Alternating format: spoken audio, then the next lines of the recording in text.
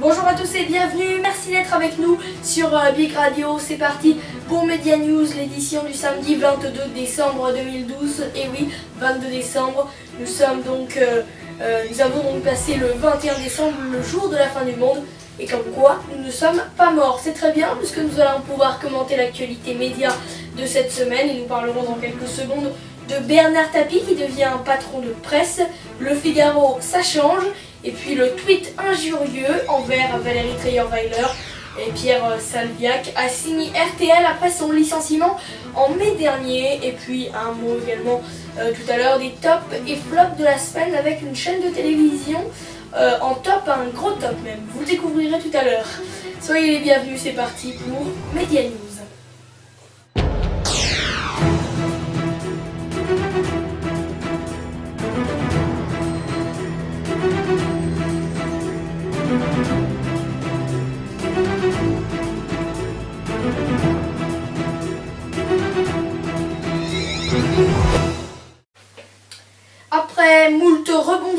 Bernard Tapie met la main sur les quotidiens du groupe R100 Média et devient donc patron de Nice Matin, La Provence, Corse Matin, etc.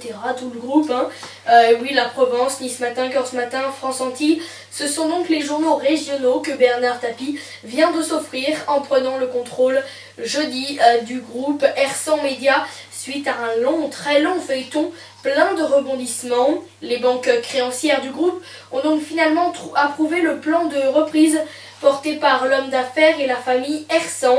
Elles ont décidé de renoncer à environ 60, 160 millions d'euros de créances dont le montant total s'élève à 215 millions d'euros et d'accepter les 51 millions d'euros proposés par l'ancien patron de l'OM. Déposée in extremis, l'offre concurrente du belge Roussel a été rejetée parce qu'elle était moins disante et menaçait un éclatement du groupe. Les Belges ont euh, également été victimes du coup de bluff de Tapi qui a déclaré son retrait définitif du dossier, euh, laissant les banques regretter son offre. Les salariés des journaux et notamment les journalistes qui couvrent l'actualité marseillaise craignent ainsi des pressions. Il y a de grandes interrogations et beaucoup d'inquiétudes chez les journalistes, a indiqué d'ailleurs à l'AFP un Serge Mercier, cet élu au comité d'entreprise de la Provence, qui demande à connaître, je cite, les réels projets euh, pour euh, le groupe de Monsieur Tapi et Ersan. Le Figaro à présent et le groupe Figaro toujours dans la presse annonce un plan d'investissement de 18 millions d'euros avec le lancement d'un site internet consacré à la vidéo et surtout, euh, moins amusant, le départ d'entre 70 et 90 salariés.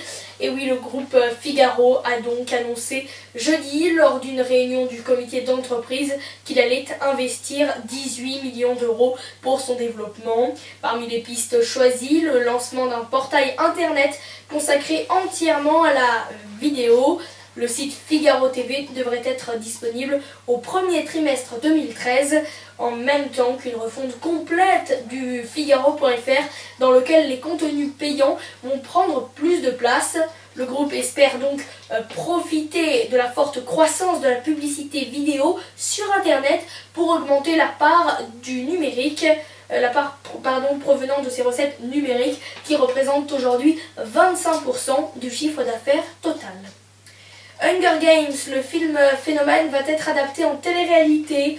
Et oui, en attendant la suite du carton Hunger Games, les spectateurs américains euh, pourront découvrir euh, une déclinaison du phénomène euh, littéraire en télé-réalité dès l'été prochain. Ça sera donc sur les chaînes américaines, bien sûr. Les grandes gueules de RMC ont appelé les auditeurs à voter excellent client pour euh, les médias. Jean-Luc Mélenchon est donc, euh, selon l'émission euh, phare de RMC, l'un des hommes politiques à avoir crié le plus fort en 2012 pour défendre ses positions pendant et après la campagne présidentielle. Son franc-parler vient donc d'être récompensé par les grandes gueules, célèbre émission quotidienne de RMC du lundi au vendredi de 10h à 14h, présentée par Alain Marchal et Olivier Truchot, de 10h à 13h plus précisément. Le tweet injurieux, à présent c'était en mai dernier, euh, et envers Valérie Trierweiler, le tweet injurieux fait par euh, Pierre Salviac. Et eh bien Pierre Salviac a signé RTL, puisqu'il était euh, salarié de RTL à ce moment-là, après son licenciement. Et oui, sept mois après son licenciement, Pierre Salviac attaque RTL dans un message posté, encore une fois, sur son compte Twitter.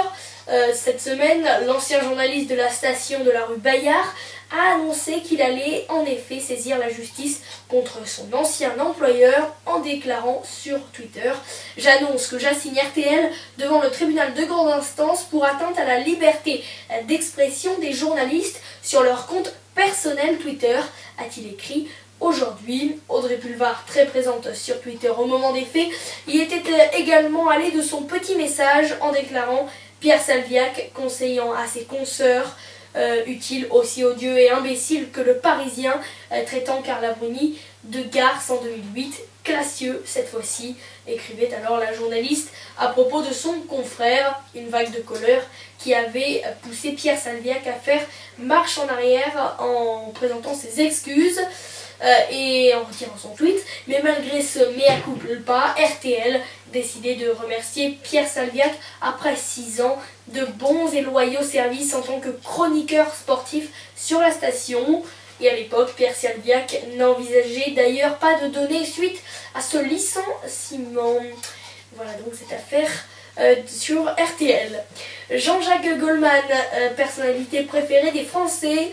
Le Parisien BVA établit le classement des Français les plus populaires avec une méthode de sondage inédite pour ce type de classement. Et donc, euh, Jean-Jacques Goldman en ressort comme la personnalité préférée des Françaises.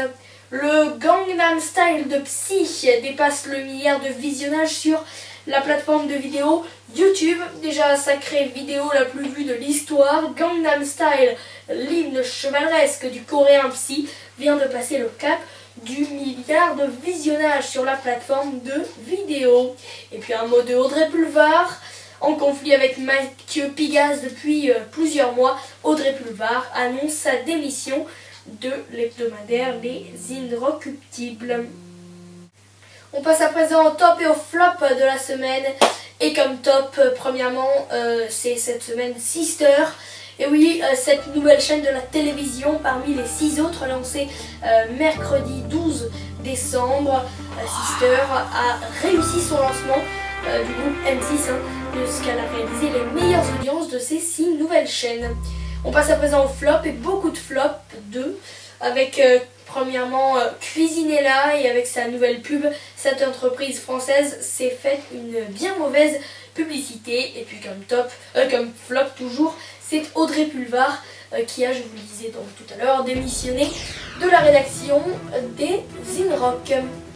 Voilà, c'est la fin de cette émission. Merci à tous et toutes de l'avoir suivi. Et puis, bah, n'oubliez pas qu'on se retrouvera la semaine prochaine. Je vous souhaite en attendant de joyeuses fêtes de Noël, un bon réveillon de Noël et surtout de bons cadeaux. N'hésitez pas à nous dire un petit peu ce que vous avez gagné euh, et ce que vous avez eu plutôt même euh, comme cadeau. Voilà, très bonne euh, semaine, joyeux Noël, bonne semaine donc, bonne chance également à tous ceux qui travaillent. Et puis bah, moi je vous dis à la semaine prochaine. Merci beaucoup et à